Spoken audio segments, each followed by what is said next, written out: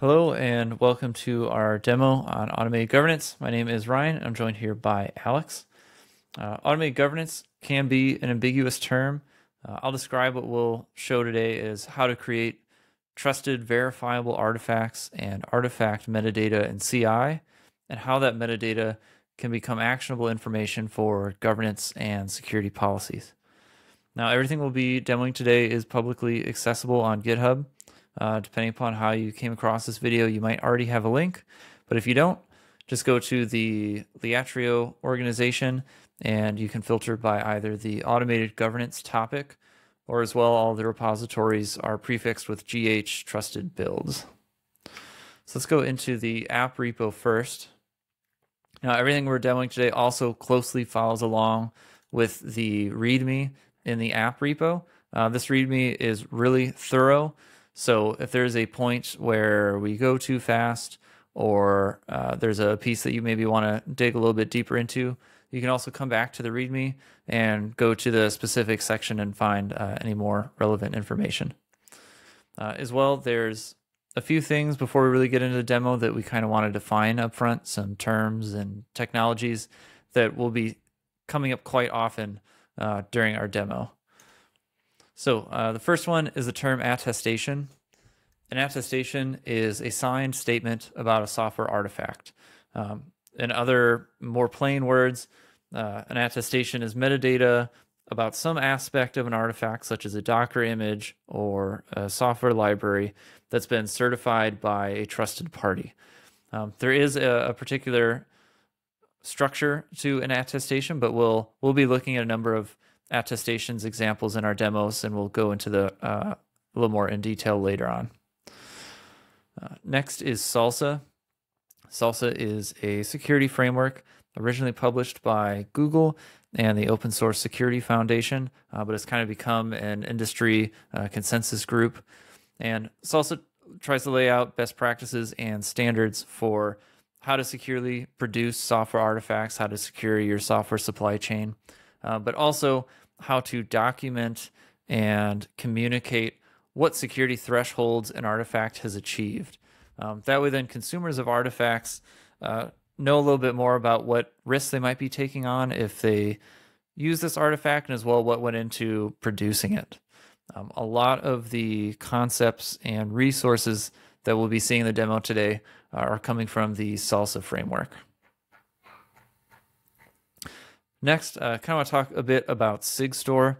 SigStore is a suite of open source tools that are, are meant to help with uh, a lot of the common actions and things you need to do in securing software supply chains. The first one is Cosign. Cosign is a command line tool for signing and verifying OCI artifacts, uh, other blobs, uh, attestations, uh, making sure attestations are uploaded to the correct places. Uh, this is uh, the tool that we'll be directly using in a number of the workflows that we'll be looking at in a moment. Next is Rekor Transparency Log. So it's one thing to be making attestations about artifacts, but you also have to think about where you are storing them. Um, using, say, a cloud provider's generic object storage isn't quite good enough because of how much that can be changed and potentially a lack of security around that. The Rekor transparency log is designed to be an append only storage solution. And as well, it has a number of features that allow third parties to monitor and actually validate that the log hasn't been tampered with in any way, that somebody hasn't attempted to change an attestation or delete attestations. Uh, finally, here, I also want to talk about Fulcio. Uh, Fulcio is a certificate authority for enabling keyless signing. So there's going to be a lot of signing of things in the demo today, signing of Docker images, signing of attestations, etc. The signing can be done with static keys and more traditional uh, PKI or even cloud KMS. But with all of those, um, you still kind of have the burden of operations and auditing and security controls that go around that. Uh, keyless signing alleviates a lot of that as well. Keyless signing does a better job of blending identity into the signing process. So in our demo day, we'll also be showing keyless signing. Uh, another note is Rekor and Fulcio are um, separate applications, separate processes. These can be self-hosted in a private environment, but for our demo, we'll be using the public instances that SigStore host and make available. SigStore refers to these as the public good instances of Rekor and Fulcio. So next, let's take a look at the workflows repo. Uh, so this is kind of the, the last term here that we want to call out. We'll be using the term trusted workflows quite a bit in the demo. Uh, when we say that, we're referring to the GitHub Actions reusable workflows that live in this repository. These are meant to represent hardened reusable workflows that a platform team or a security team have made and owned and are available for delivery teams to consume. These are things that uh, the central teams want to make sure are done in a particular way, done in a secure way, uh, maybe encompassing any sort of elevated access or secrets. And as well, this is where you want to make the unforgeable, trusted metadata uh, about what happened for all these individual steps. Um, these workflows could live in, in, different repositories if they're owned by different teams, but just for demo purposes, uh, we have have them all living in one repo. Uh, a lot of the concepts that we'll be going over in our demo, these could be implemented in other CI/CD platforms as well. But for our demo, we just happen to be using uh, GitHub Actions, and GitHub Actions does have a nice feature set of boundaries and security controls that lend reusable workflows well to automated governance um, items. So, for example, callers of reusable workflows cannot uh, affect how the reusable workflow runs really in any way outside of what's explicitly defined by the reusable workflow itself. So, for example, here, um, the only thing that a caller can input or give to a workflow uh, to potentially change how it runs is explicitly defined as an input. And as well, they can only access what is explicitly allowed as an output. So this means that callers can't arbitrarily override jobs defined by the reusable workflow, maybe skipping jobs or changing the run to use potentially a different tool altogether. Um, and as well, reusable workflows run in a separate environment from the caller. They always run on a separate uh, VM from the calling workflow. So as well, there's no there's no shared environment for a caller as well to affect or access anything from a reusable workflow. Another piece that is really important from GitHub Actions is the OIDC functionality. Uh, now, this is something like many other things that we'll be going in in detail later on in the demo, but at a high level with the OIDC token functionality, we're able to uniquely identify when a process is running from a reusable workflow. So that allows us to use more trusted identity in a lot of the creation of attestations, but as well control access to any sort of external secrets or um, other sensitive material. So with that, um, let's go back to the app repo, uh, kind of start our demo here. Uh, so this app repo is meant to represent uh, an average product team's application. Uh, if we go take a look at it, it happens to be a Golang app. If you were to run this, it'd be able to serve a number of HTTP requests. Uh, if we also go look at their dependency list, uh, pretty small footprint here, just one external dependency that we happen to be using. We also find a Docker file here. So this application is meant to be uh, built and packaged up as a Docker image to then be deployed to any container-based environment or platform. Uh, later on our demo, we'll be using Kubernetes as our target platform. But uh, overall, pretty straightforward uh, multi-stage Docker image here. And then if we take a look at their GitHub Actions workflows, they have just one here called app. Just looking over this, we can see this is a, a workflow that the product team still owns. They're still able to compose this themselves, uh, the four jobs that they happen to have in here are all using a trusted workflow from either the platform or uh, the security team, as we can see here.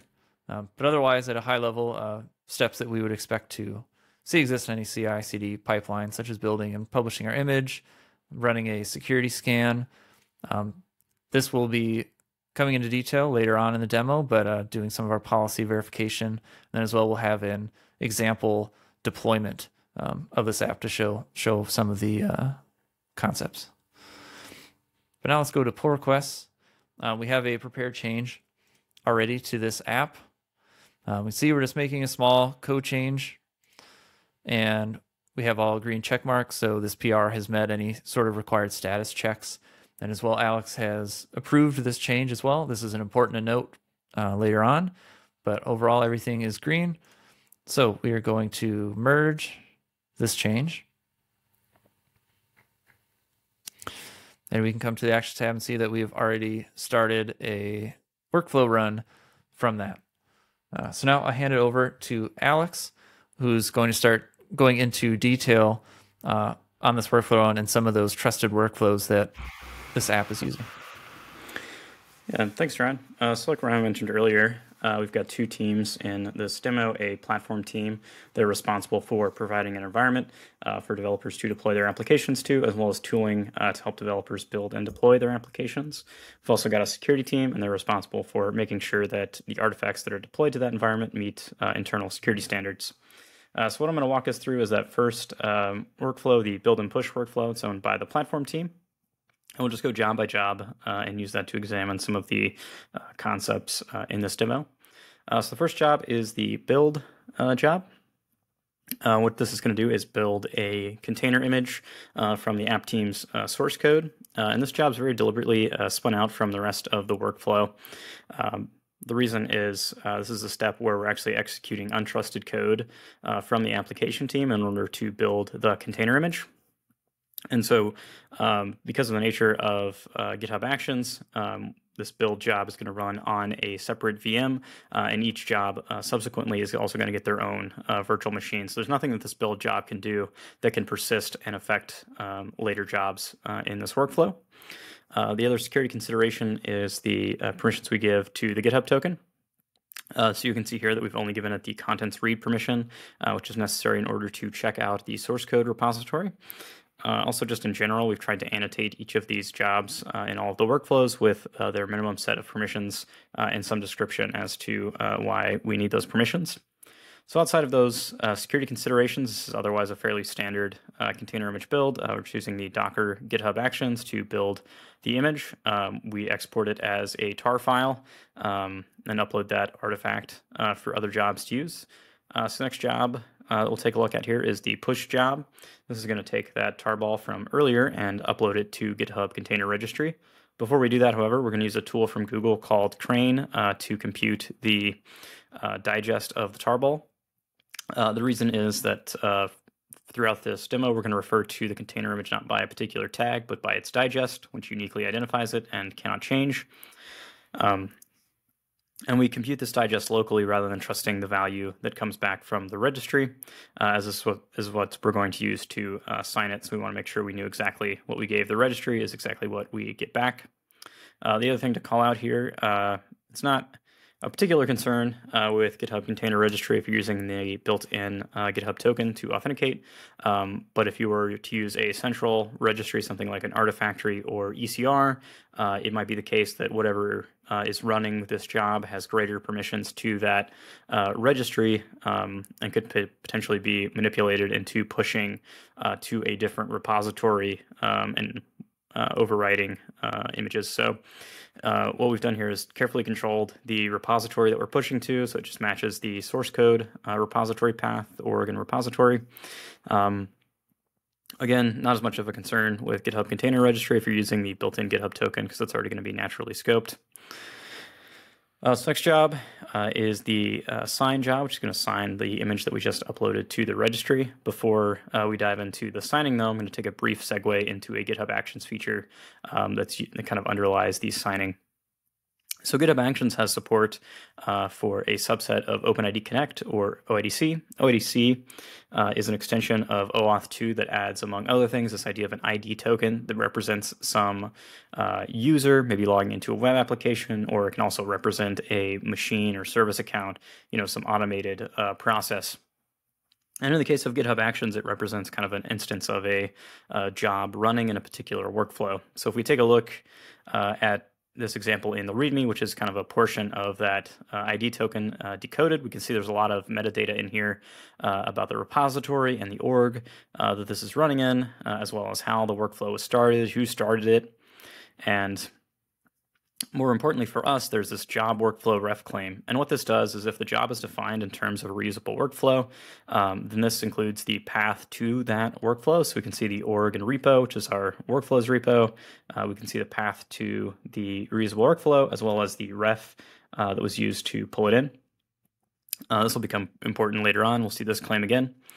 Uh, the next thing I wanted to talk about uh, in relation to OIDC is how we can verify the these tokens and trust that they came from GitHub. Uh, there is a standard claim, uh, the ISS or issuer claim, and what this is is the name of the server that issued uh, the token. So in this case, we can see it was tokenactions.githubusercontent.com. Uh, and another feature of OpenID Connect is this idea of uh, OIDC discovery.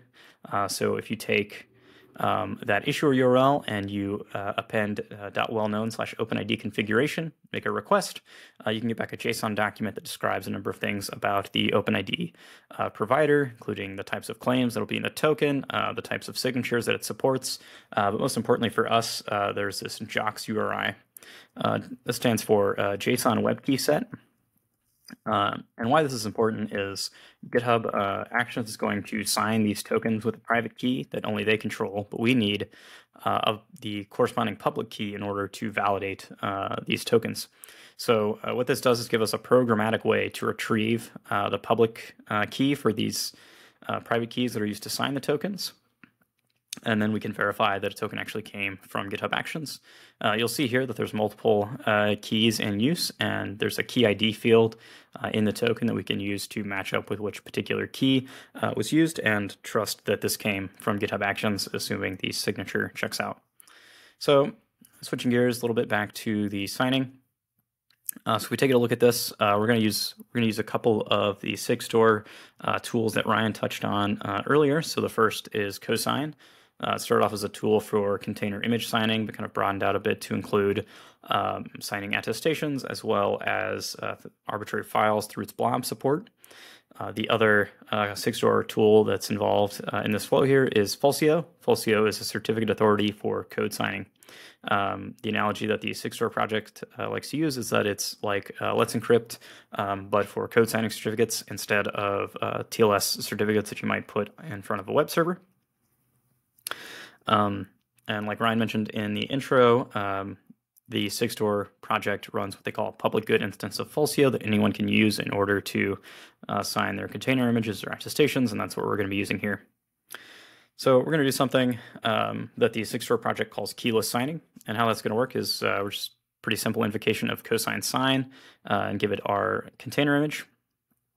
Um, and um, we're going to launch into the keyless signing flow, uh, which is a bit of a misnomer as quite literally the first step is cosign is going to generate a random public-private key pair uh, to use to sign the image.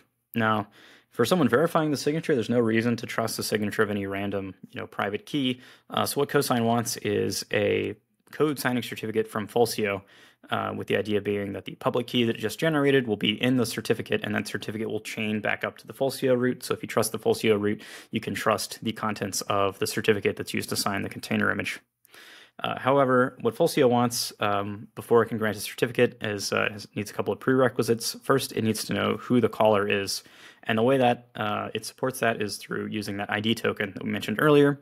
So this job has the ID token write permission, uh, which is going to allow um, us to request that ID token that we saw earlier with all these claims in it. And Cosign can tell based on the presence of environment variables that it's running in GitHub Actions, so it'll go ahead and acquire that ID token. The next thing uh, that it needs to provide to Fulcio is some proof that it controls that private key of the key pair that it just generated earlier. And the way that works is by convention. So there is in uh, all of these ID tokens, there's a sub or subject field that describes the name main entity um, that's being described in the token. And so, since it's a commonplace field, the convention with Fulcio is to grab the value of the subject claim and then sign that with the private key to prove that um, the caller does control the private key. So, with all of that in place, uh, Cosign will make the request to Fulcio. It'll pass it the public key that it just generated, um, the ID token that it got from GitHub Actions, and then that proof of possession of the private key that was made by signing the subject claim value. Now, Fulcio is configured to support a number of OpenID Connect issuers. One of them is GitHub uh, Actions, and so it'll do uh, it'll look at the issuer claim uh, that we saw earlier, uh, see that it's GitHub Actions. It'll request the um, discovery document uh, that we saw, and then follow that through to get the JWKS URI, uh, and then it can find look up the right key based on the key ID and check the signature of the token that was provided. Assuming that all checks out, it'll move on to check the uh, challenge that was provided to make sure that that um, signature verifies successfully. And assuming everything checks out, it'll issue a certificate back to Cosign. Uh, and then Cosign will uh, sign the image and then upload that signature. Uh, so it's actually going to store the signature uh, in the container registry. So if we look here in GHCR, uh, we can see we have some tags that were pushed recently. This is the application image that was just built by the build job. Uh, and then we have a couple of other tags here that look maybe a little strange. Uh, so the signature is actually stored outside of the image. It, it's stored in a tag um, that's kind of uh, decided by convention. So uh, it takes the digest of the image uh, and then appends this .sig. Uh, so that's the actual content of the signature.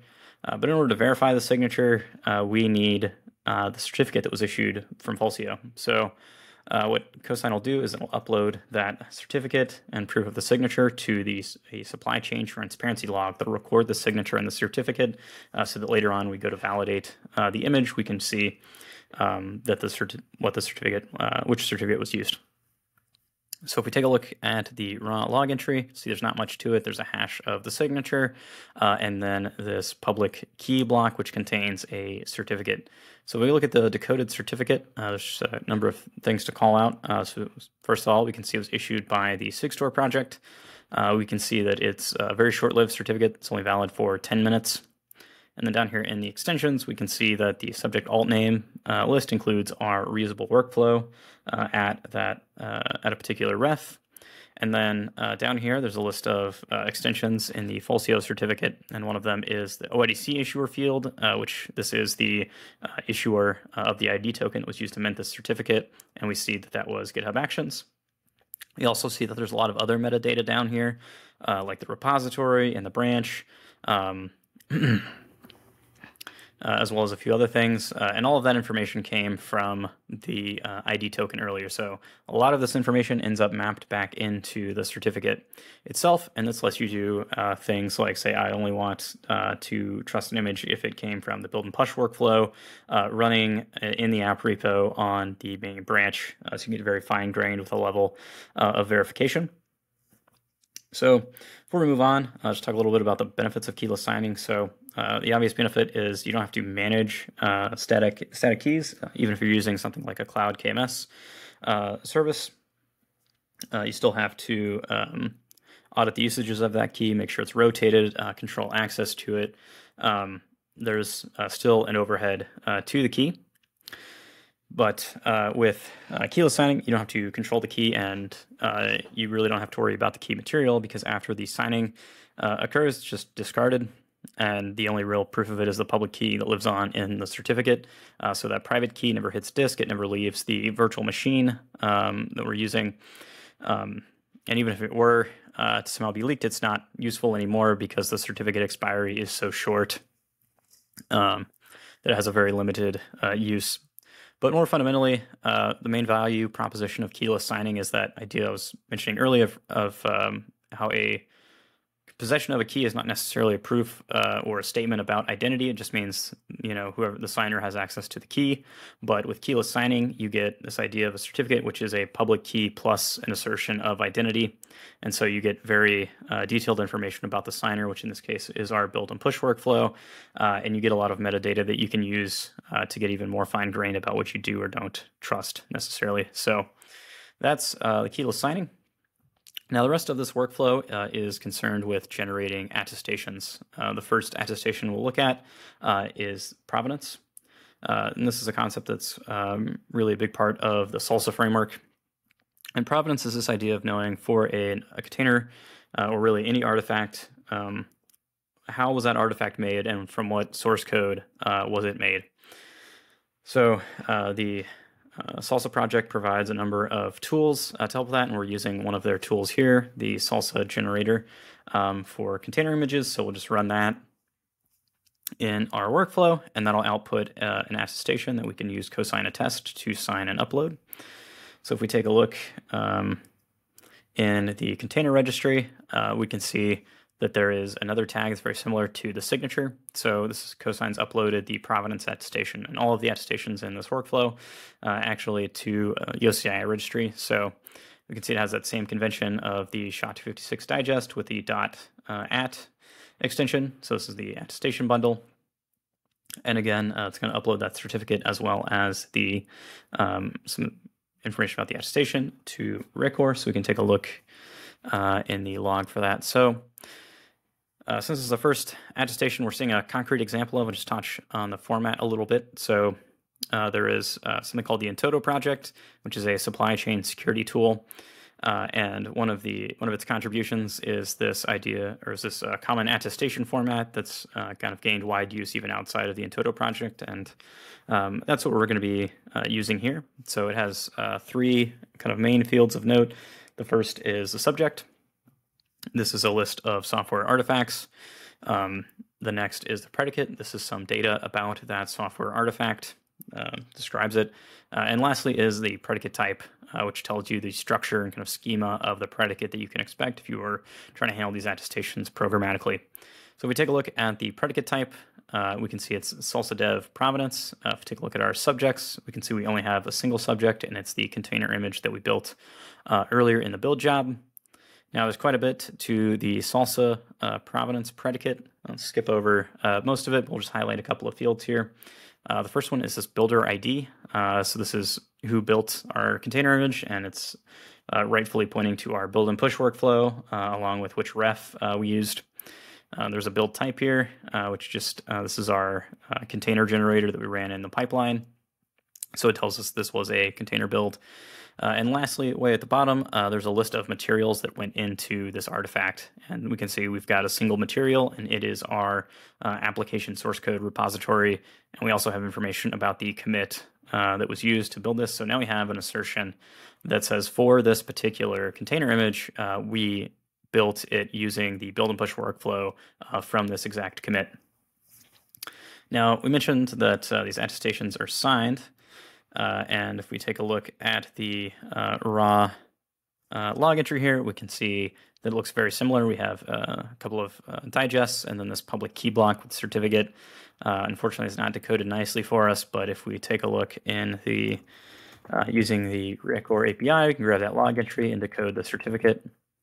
and we see it looks pretty similar to what we saw before is issued by the Sigstore project. Um, the subject alt name includes our build and push workflow.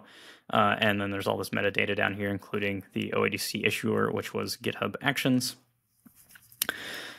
So that's the provenance uh, attestation. The next one we'll take a look at is uh, the software bill of materials attestation. So provenance is how something or how a container was built uh, and what went into it. The uh, software bill of materials is the actual contents uh, of that container. Uh, there's a number of different uh, competing formats and tools uh, for working with SBOMs. The format we're using here is uh, SPDX from the Linux Foundation, and we're using a tool from Syft, uh, a tool called Syft, to generate that container image SBOM. And so that'll output a JSON file that is the SBOM, and then we can use cosign attest, which has some native support for working with SBOMs, to sign and upload that as an attestation. So if we take a look at that uh, in Rekor, uh, we can see the predicate type this time is uh, spdx.dev slash document. Uh, you can see the subject list is the same. We're still talking about uh, the image that we just uh, created. and then there's quite a bit of information here in the predicate. again, just not going to go through all of this because, um, but there are a few things that are important to highlight. so part of the SBOM is a list of all the files in the artifact. It's a pretty simple um, container, so we don't we don't have much. Uh, it's a multi-stage build where the final stage just copies over a binary uh, that was built earlier. So the only real file in here is our server binary. Uh, and if we scroll down a little bit, we can see uh, there's a list of packages or dependencies that went into the container image.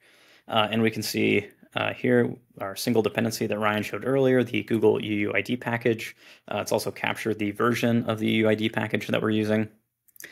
Um, so there's a couple different uses for uh, SBOMs. Um, first uh, one, one thing you can do is uh, license uh, compliance. So um, typically these uh, SBOMs will include some licensing information. So if there's a particular uh, set of open source licenses that aren't permitted at an enterprise, uh, this is a good place for policy to uh, come in and you can um, take a look at all the packages that are listed uh, for a particular uh, container and make sure that none of them violate those licensing standards. Um, another use for SBOMs is vulnerability management. So as a hypothetical, let's say there's a vulnerability in the Google UUID package that affects versions uh, less than 1.4.0. Well, uh, if we were to scan this container image, if that scan happened before the vulnerability was known, there's going to be nothing in the report uh, that helps us. But uh, if we had an SBOM for the container image, what we can do is um, look at all of the packages uh, in there and see if we're using the UUID package, and if we are, what version, uh, and see using that uh, SBOM information to see if we are um, affected by this particular vulnerability. So that is uh, that's the SBOM attestation. The last uh, attestation type that we're going to look at here uh, is a little different from the other two. So uh, those first two are from kind of well-established open source projects uh, like the SLSA framework uh, or the Linux Foundation, but this last uh, attestation is actually a custom one. So we wrote a tool called GH Trusted Builds attestation that supports uh, generating a couple different types of attestations. Uh, and the one we're looking at here is a code review or pull request attestation. So it's often a requirement at, a at large companies to uh, enforce code review uh, so that every change must have some minimum threshold of reviewers. And that's what this is doing is it uh, we run the attestation tool and it looks at the commit that it's on, finds any associated pull requests, and then for each pull request, it makes an attestation. So if we take a look at that attestation in Rekor, we can see the predicate type is our custom GitHub pull request type. Uh, we can see the subjects looks a little different uh, than what we saw before. The first subject is uh, the application repository uh, at that commit that we built from. Uh, and that makes sense because it's the one associated with the pull request. Uh, the next subject, however, is the container image, which isn't described at all in the predicate, but it's here because how we are storing these attestations. So each attestation is going to wind up in the registry at this particular tag. And something that Cosign is going to do when it verifies an attestation uh, is check that the subject list includes the container image at that digest. This is to prevent someone from, uh, say, copying a, an attestation from a valid image to an invalid one uh, because the digest won't match in the subject list. And if they change the uh, subject array at all, it'll break the signature. So it's more of a security precaution, even though it's not actually um, described by the predicate in this case. But if we take a look uh, at the predicate, uh, I can see there's a lot of metadata about a particular pull request, um, like when it was created, who merged it, a link to the pull request. Uh, but of interest to us is uh, these last couple of fields, because these are something you could use to write policy. So uh, we have a list of everyone who contributed to the pull request, uh, and we also have a list of everyone who reviewed the pull request, as well as a link to their last review and whether they approved it or not. And finally, uh, we have this aggregate approval field, uh, which is true if everyone who reviewed it approved it, false otherwise. Now, um, this attestation lets us write uh, policy uh, around these source code uh, review requirements uh, in a couple of different ways. First, just the presence or absence of this attestation says there was or wasn't a pull request. so that's kind of the simplest policy that you can write. Um, the next uh, policy that you could write is uh, checking whether that pull request was approved. Uh, you could go further and say you must have had some minimum threshold of reviewers, or if you wanted to go even uh, further, you could say I don't want anyone who contributed to the pull request uh, for their review to count towards that minimum threshold. Now, a lot of controls uh, like these are already built into GitHub and other source control platforms. Um, but this attestation isn't intended to be a replacement uh, or alternative for these uh, controls. It's really more of a complement uh, to them because ideally those controls are on and there is some process that is reconciling those uh, settings uh, should they drift from whatever approved baseline. Uh, but it's often the case that you need to give developers some level of access in order to do their jobs. And so this opens up the possibility that uh, someone will try to sneak in an unapproved change, uh, or maybe someone's account was compromised uh, and someone was able to uh, maliciously commit some code. Uh, what this will do is uh, you'll have a still have a point in time snapshot for a particular pull request about what happened, regardless of the state of those settings in the repository. so if you had a policy that says there must be a pull request attestation, and someone turns off the branch protections and pushes straight to main, there's still some evidence um, that the normal process wasn't wasn't followed, uh, and we can fail policy or block deployments based on that. So that's the last type of attestation that's generated in this build and push workflow.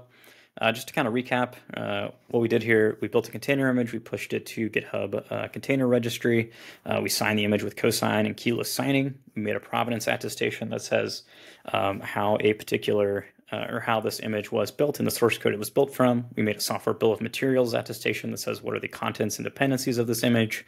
And lastly, we made a an attestation that says this change was uh, peer reviewed or not. Um, so those are the types of attestations that a potentially platform team might be interested in. I'm going to pass it over to Ryan. He can talk about the types of attestations that a security team might want uh, and how uh, we can use attestations to gate deployments.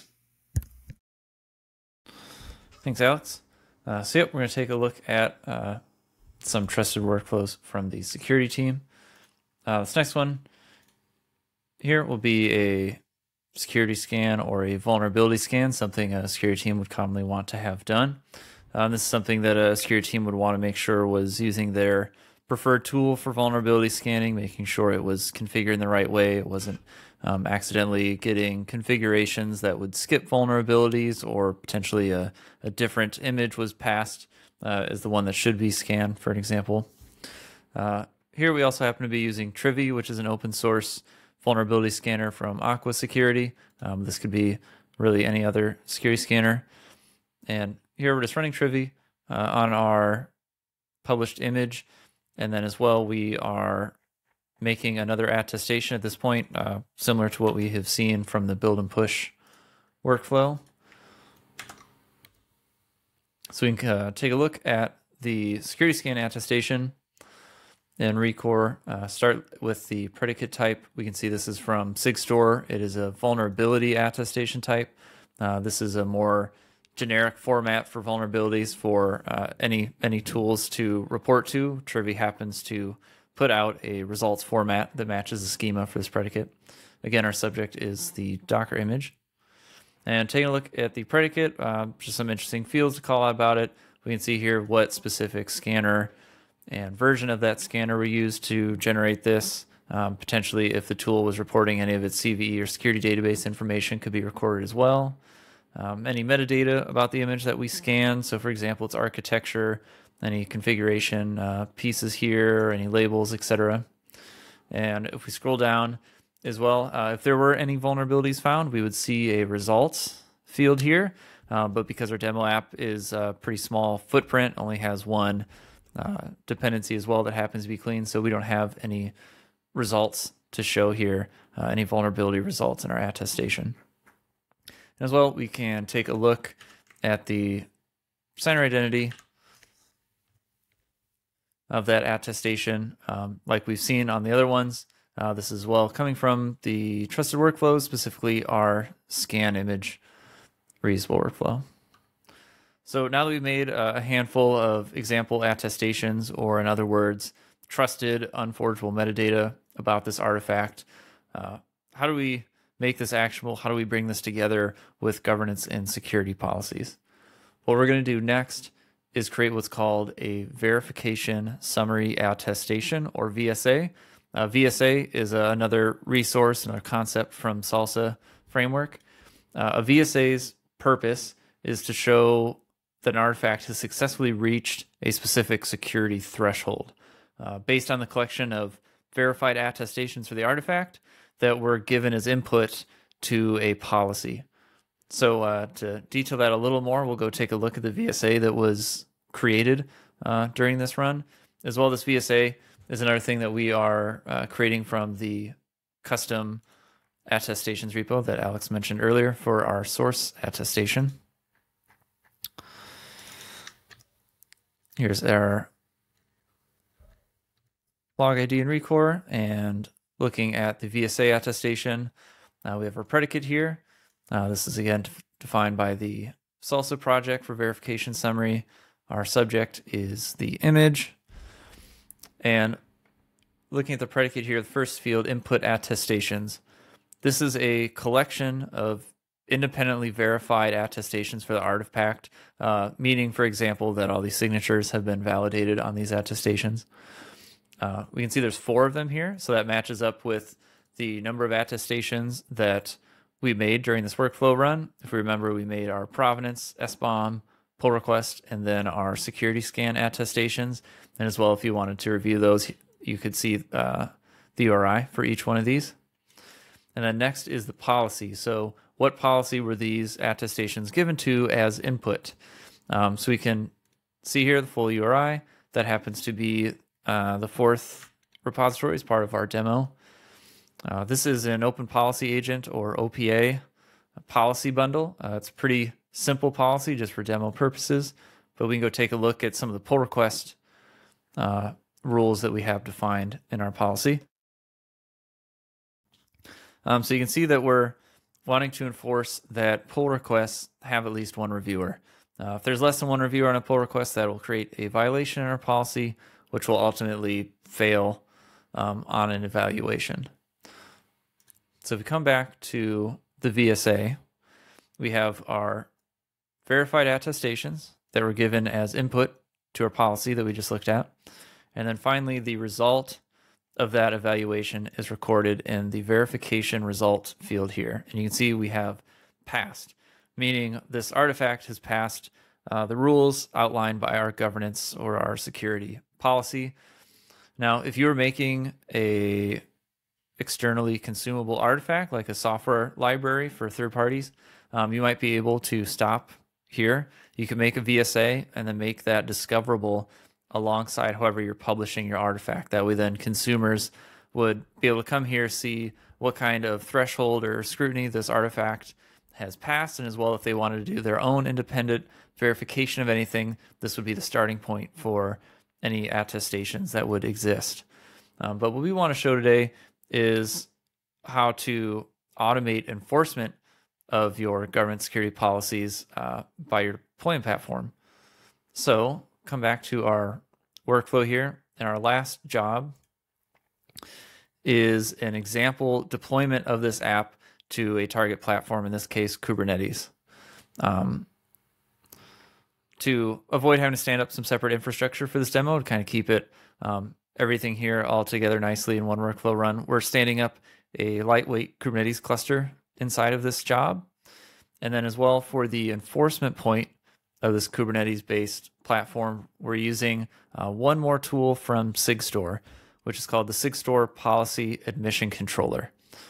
So the admission controller, when it's deployed to a Kubernetes cluster, you can configure it to uh, watch a, a, given namespace or namespaces and any resources coming in with defined images on them, such as containers in a Kubernetes deployment. Uh, you can have the policy admission controller run any configured checks on that image to see whether or not this resource should be allowed to be applied to the cluster. So let's take a look at our uh, policy here in our example. Uh, this is the kind of inline policy that we are giving to the admission controller. Um, ultimately, this is doing a few things.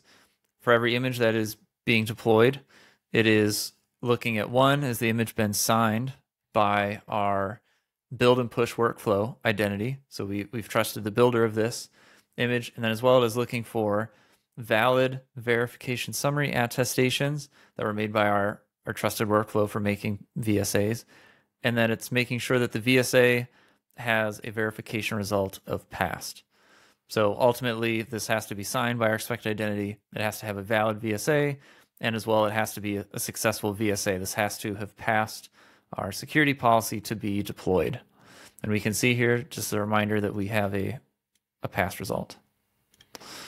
So if we come here, we can see it's already green, uh, but we'll step through it here. We're uh, installing and creating our lightweight Kubernetes cluster. We're deploying the SigStore policy admission controller and configuring it with that policy that we just looked at. And then finally, we're attempting to uh, deploy our application to that cluster. Here, we're just using kubectl inline to create a Kubernetes deployment. Um, this policy admission controller would work with both push style deployments, such as what we're doing here, as well as pull based if you're using pull based continuous delivery tool like Argo CD um, and work in, in any of these cases. We can see the deployment has successfully rolled out. And if we also show some of the resources in our namespace, we can see that our pod uh, is running as well. So this is the, the happy path when an application has gone through all the expected steps for meeting governance or platform or security requirements, then it's allowed to deploy. But to actually show all this coming together to enforce policy, we need to show a failed deployment. So if we go to pull requests, and we can see that while we were taking a look at some of those uh, last few workflows that Alex went ahead and made an unapproved change to the app repository. Uh, we can see here it kind of reverted the change we made earlier. And somehow he was able to merge these changes without a reviewer on them. So as we know of looking at the policy, this, this should fail because it did not have a reviewer on it. So let's go to the workflow run uh, for that change. And kind of going through, uh, again, the same the same jobs from our trusted reusable workflows. Uh, let's go take a look at the pull request attestation first for this change.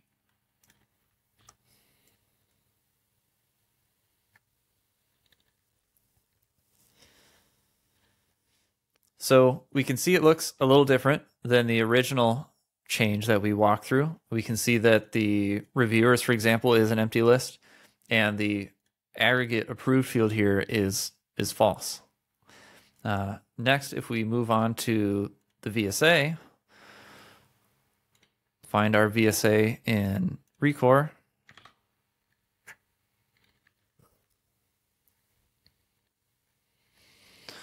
So overall, kind of looks similar to what we've seen before. We have another set of four uh, attestations. We're using the same policy bundle um, to evaluate those attestations. But now we can see that we have a verification result of failed. And this is because it failed from missing reviewers. There wasn't at least one reviewer on that change. So this this artifact ultimately has failed our security requirements. It should not be deployed. And we can see that here with our, our failed uh, test deployment. Again, went through standing up the cluster, deploying, configuring a policy controller, and now we can see that when we attempted to create a deployment, we now have an error. So before, when it was a successful change, uh, that was kind of transparent to the delivery team. They're not really have to be aware of um, any sort of policy enforcement happening at that time. But now that this failed, we're getting an error back. Uh, we can see that it's from from SigStore admission controller, and ultimately it's saying it's failed the check for has passing VSA. It's not compliant. So in other words, our, our platform did not allow this artifact to be deployed because it was not up to our governance and security standards. So uh, just kind of summarize again here the, the end of the live demo portion, everything we've walked through is showing a uh, an average or, or, normal applications workflow with some of the expected steps you, you would uh, think you would see in a CI CD workflow, but now including a way to create trusted, unforgeable metadata or attestations about that artifact and how those can come together into a, a, summary of that artifact called a VSA, and then using that VSA to automatically enforce standards uh, at deploy time. And before we uh, completely wrap up here on the demo, uh, just want to leave with a note that with all of this trusted data now being created, um, it doesn't have to end its usage just at deployment time or enforcement by a platform. Um, all of this trusted metadata, all these attestations can be used to further automate other existing governance, security, compliance processes that are likely to exist in enterprises. Uh, and as well, this is a new avenue for observability inside of IT. With all of this, uh, these new attestations and what they are describing, uh, organizations are able to better see what kind of security or compliance posture um, their IT org has, and as well if there's any organizational changes that uh, might be coming in, you can see ahead of time what impact those security changes might have on existing delivery teams. So with that, that concludes our technical demo on automated governance. Thank you for watching.